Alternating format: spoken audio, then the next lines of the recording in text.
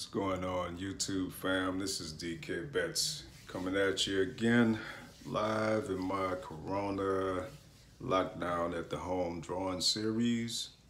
So we're gonna get started today on today's episode. We're going to draw this tube of paint, all right? Okay. We're gonna simplify it using our basic shapes and make this pretty simple. Hopefully you can see these different colors here, okay? This is drawing up pretty dead, obviously. You have your rectangle here on the top.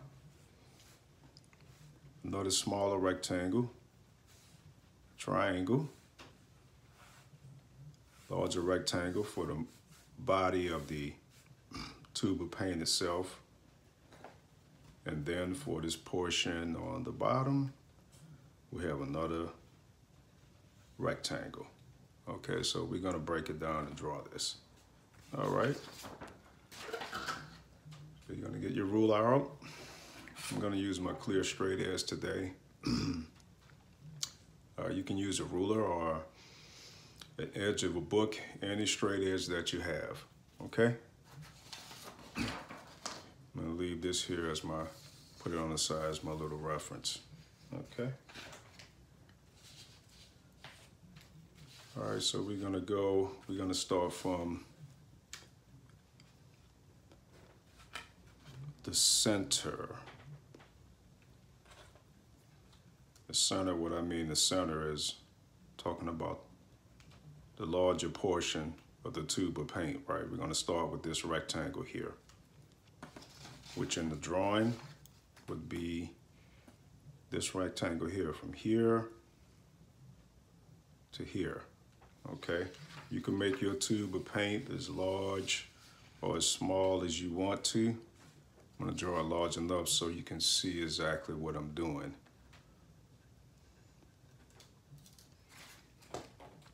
So it really doesn't matter how wide you want it. It can be wide or thin.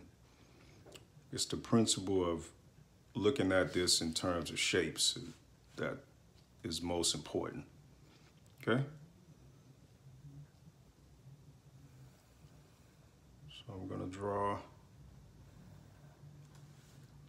draw my line there, okay? Starting my rectangle, I'm gonna go down this side.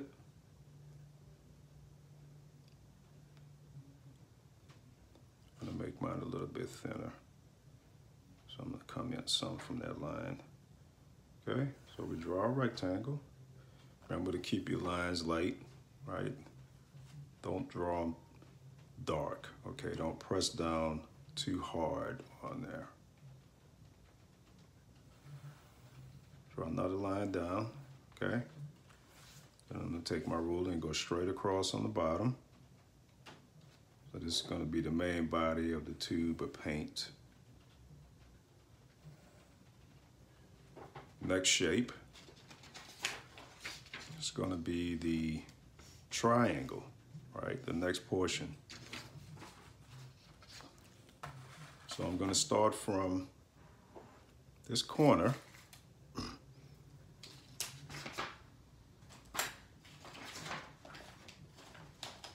me get rid of this extra line here.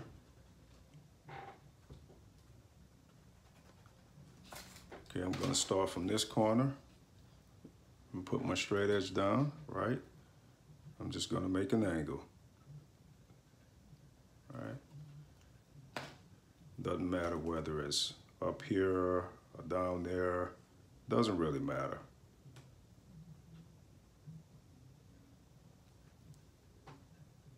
Just so that you're drawing a rectangle.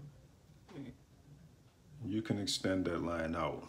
What I want you to do is see how this is done. It's going to give you the center point, right? It's going to give you the center of this rectangle that you just draw if you do it this way. Go to your other side, right?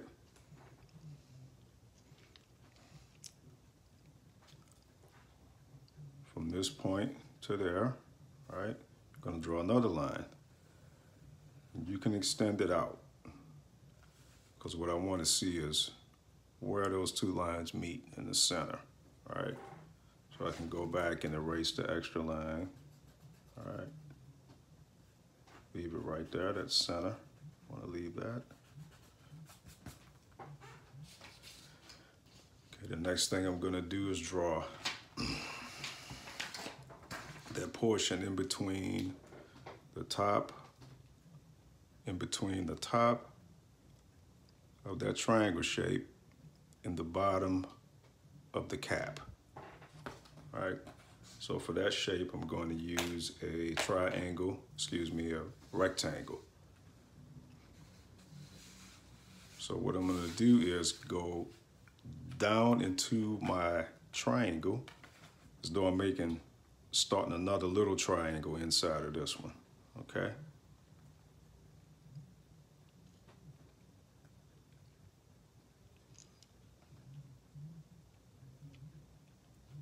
So I'm just gonna come down from the point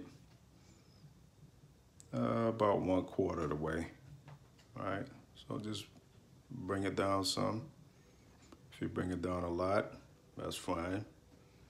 As long as you leave a nice little gap between there, the top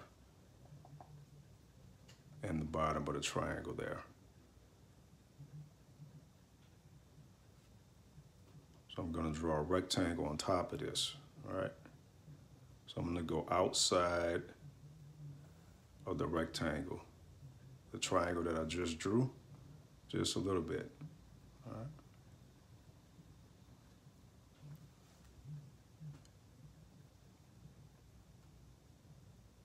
I'm gonna go up. Here's the point or the center point where the triangle met. I'm just gonna go up a little bit. Draw another straight line. And I'm gonna come down. Remember we talked about parallel lines, right? So this line here I can use to look at and make sure that the line that I'm preparing to draw is straight. So if it's crooked, I can see that it's not parallel. If it's too much space, if it's at an angle, I can look and see, right? So I can use that line here as my guide. Where your bottom, the bottom of your first line that you're drawing for this rectangle on top of the triangle. And the triangle itself, the small one that you just threw the line through, meets. That's where I want to put my ruler. Close off that rectangle on that side. Then I'm gonna do the same thing on the other side. I'm gonna find that little point right there and a point on the top of the line that I just drew. I'm gonna draw another parallel line. So this side I'm looking at, on this side I'm looking at that line. I want my line to be straight, so I'll hold my ruler like this.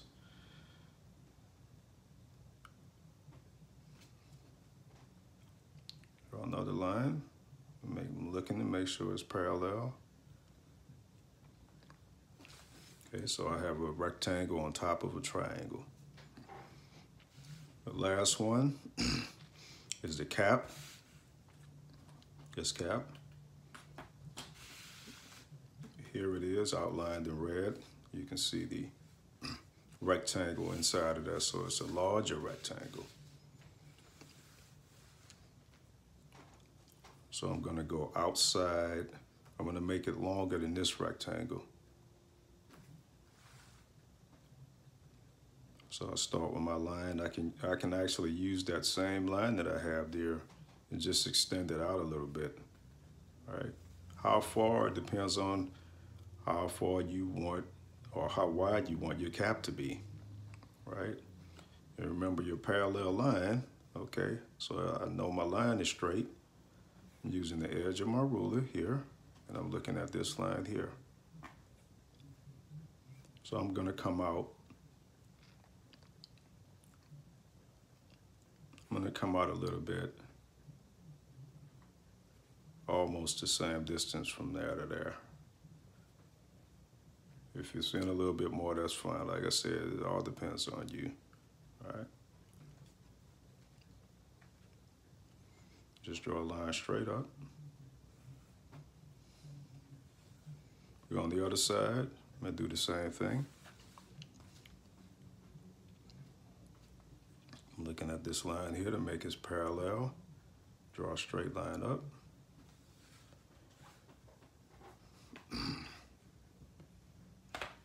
And the cap is a little bit larger. The cap is larger than the neck here, right? So I want it to be a little bit longer or wider rather than this space here. So I can make it twice the distance. Or rather, let's let's do one and a half times. Right, one and a half times the distance. So I'm just looking, I'm just eyeballing it. Draw another line, make those meet. All right, now we go to the bottom. We have this portion here, right? And if looking at it, it looks almost like a rectangle, which makes it a lot easier to figure this out, all right? So I'm gonna go to the bottom, the bottom portion of my rectangle that I first drew, that first line. I'm gonna go down below that line just a little bit.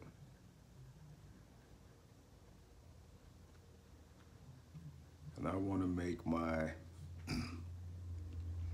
the bottom of this tube, you see it flares out here, right? Goes out wider than the tube itself. So I'm gonna represent that by making this rectangle wider. How far? Uh, I just eyeballed it basically. Just take it out.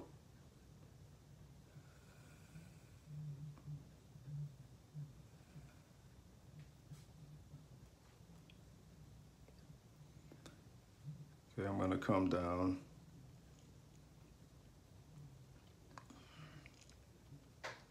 if you were measuring, you can probably make it about three quarters of this distance here if you want to make it all accurate and whatnot, but we're just having fun, so I'm just eyeballing it. Draw another parallel line. Remember, I can make it longer, wider than this. It's gonna be wider than this, so I can draw my line long then I'll come back and erase the lines. And finally, right, using this edge as my guide, parallel line. I'm gonna finish my rectangle down here. Go on the other side, I'm gonna do the same thing. Using this as my guide to make the line straight and parallel. I'm gonna close this off make these two lines, two points meet. All right, now we could get down to the details. Okay. So first thing we're gonna do is draw the top. I'm gonna freehand it, but you can use your ruler. I'll show you how to do it with the ruler. Okay, so I'm going to trace this top line.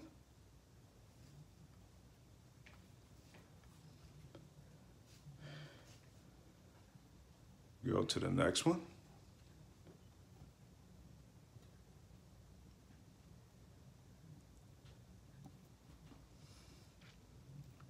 I come down right there where the end meets. Go on the other side and do the same thing.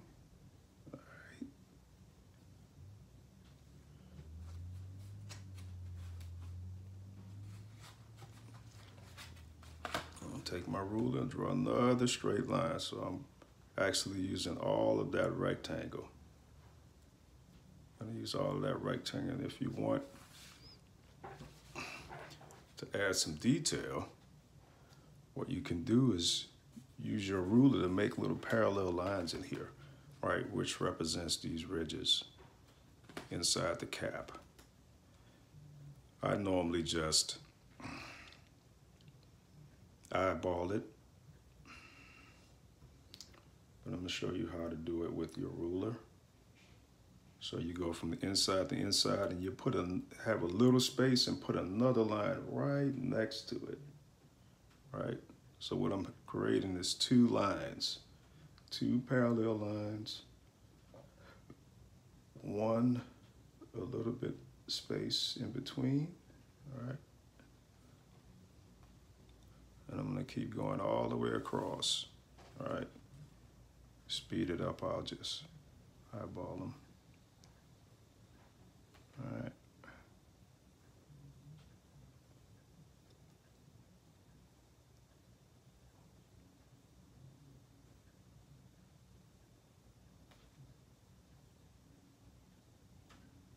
Okay, my next line. Now, on this line here, I know that it doesn't cut at that angle there. It actually curves a little bit, which makes it a lot easier when I'm drawing this line, because I have something to follow, I can go right from the straight line or just curve it right on around onto the triangle line. Then I can use my ruler if I want, right, and continue that line.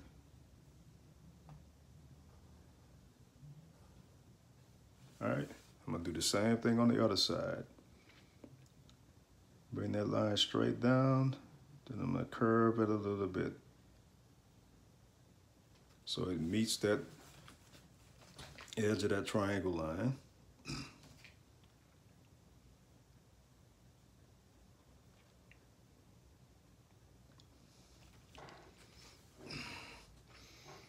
And don't forget, all of your lines that you don't need, make sure you erase them, okay? as you're going through your drawing, get into the habit of cleaning up as you go. All right? Cleaning up your drawing as you go. Okay?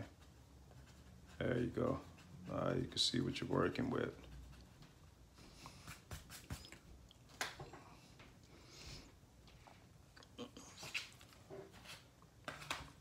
Okay, we're gonna move on to our rectangle, which is the body, the main body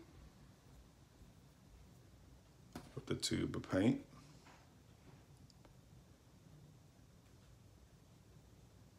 Just gonna follow my rectangle. I already have it nice, nice little model there. I'm just gonna follow that line down.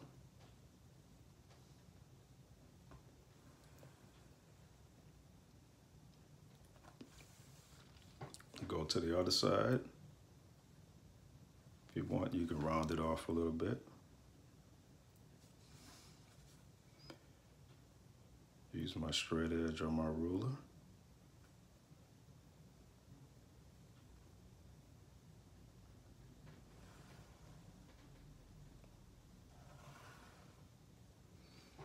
I'm going to bring that line all the way down to the top of my next my next line.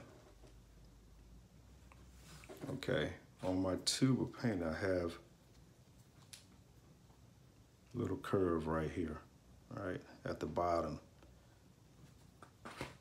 So where my rectangle, my last rectangle down here on the bottom is, we're gonna go down a little bit from the top of it. All right.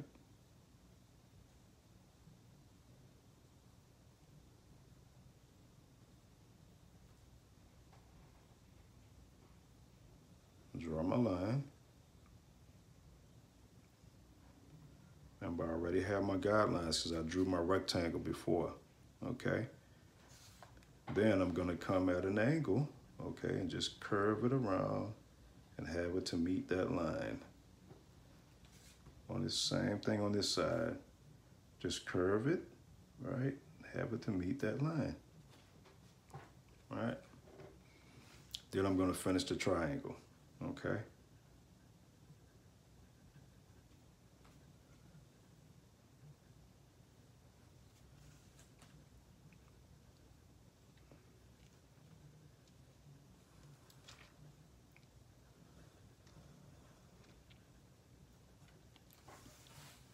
And there's the basics of my tube of paint. Now you can just go off with the details, man. Hey, I'm gonna show you some basic stuff I'm gonna do. This is a stencil that you can buy at any, um, you can get it offline from Dick Blick's, um, what's another place? Uh, any office supply store. If you don't have it, you can just use whatever you have available. A top, the top of something, all right? Okay, I'm gonna use the top of my graphics. So I'm just gonna draw a circle in the center. I'm gonna move it up, all right? I don't want it dead center, I want it closer to the top here. All right, draw a circle.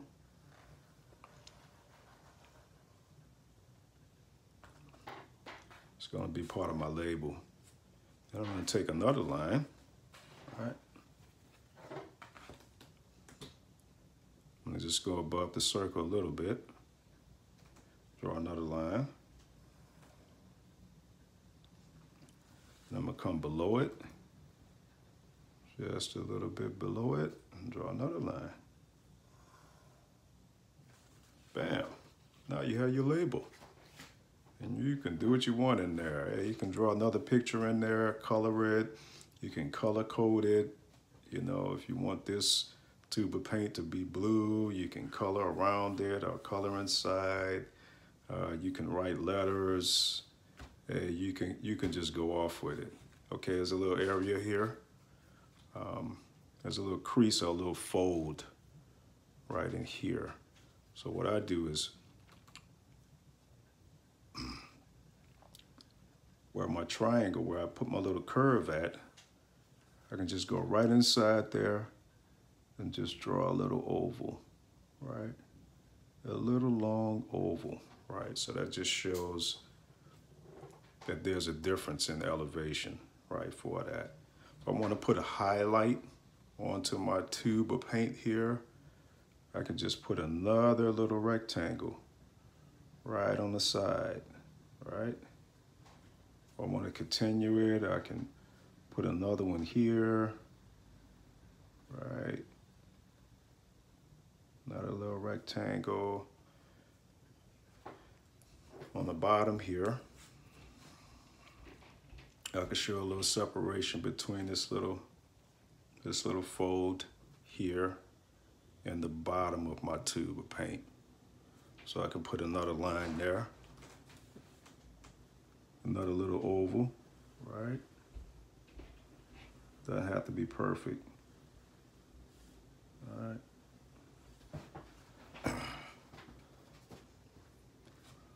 And on my tube, I have some numbers down here for manufacturer's numbers. So, I mean, like I said, you can just go off with this thing and create all kind of details on it, color it. You can make this silver cap, white, black, green, brown, blue.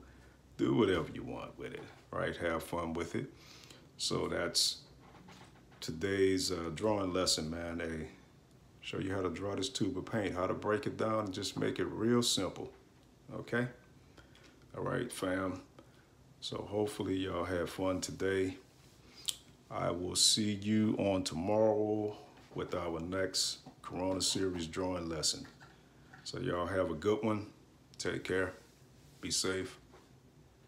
Peace.